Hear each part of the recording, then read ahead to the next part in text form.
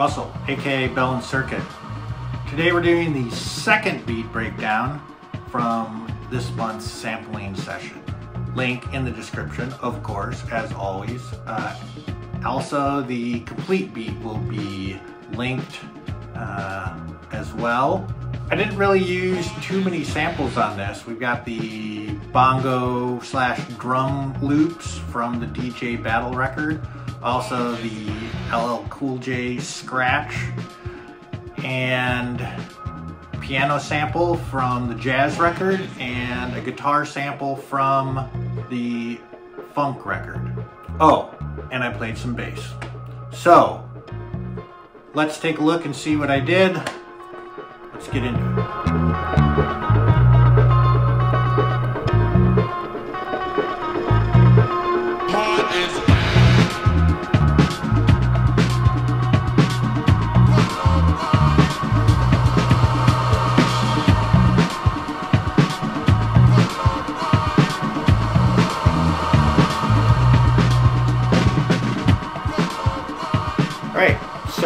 The drum loops came from that DJ Battle record, scratch record. There are two separate loops. Both uh, are heavily filled with bongos. They each have a slightly different uh, turnaround at the end, a fill. And because they came from this DJ record, they're pretty well uh,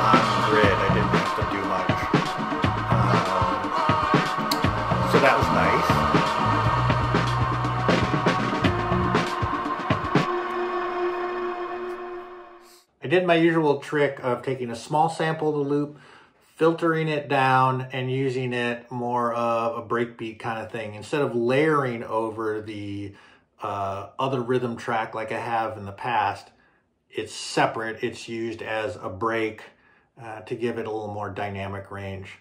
Uh, so when you come back in with the full beat, it's even more um, impactful.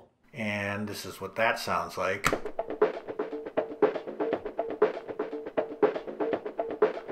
Bongos.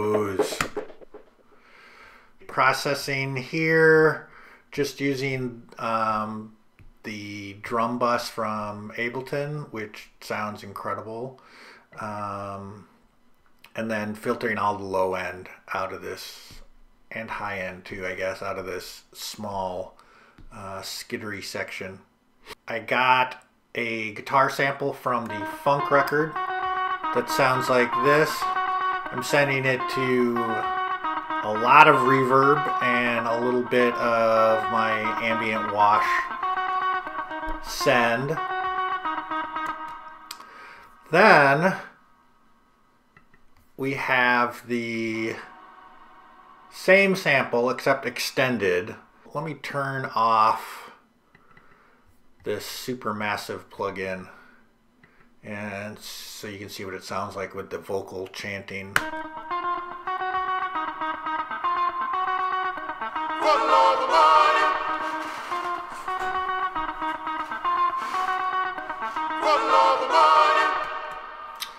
But then I smear it with this Valhalla Supermassive plugin. This is a free plugin that you can get from Valhalla. I'm not sure why Valhalla is giving away this Supermassive plugin because it's amazing. Go grab it now. I'm not paid to say that. Anyway, so when you add that back in, you get this.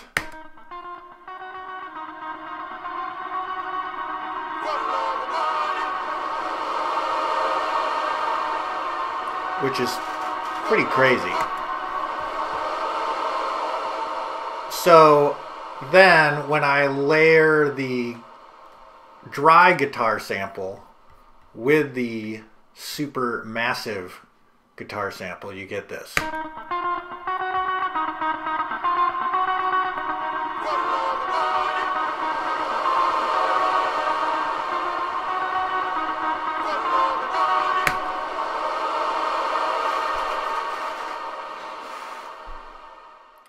The Washi version does include the vocal sample, something about liking to party.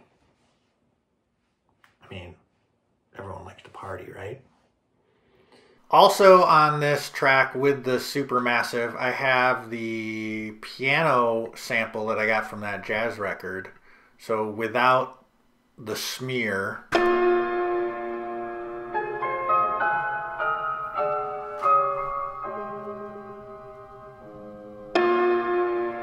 And with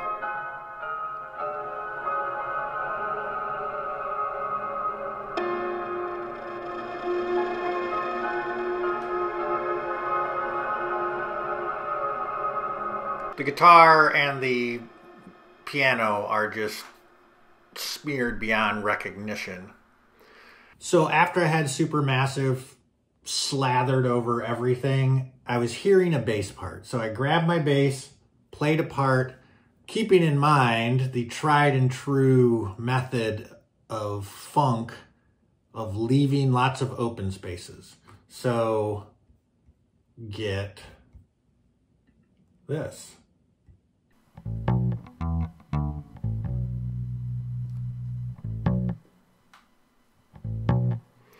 And that's pretty much it.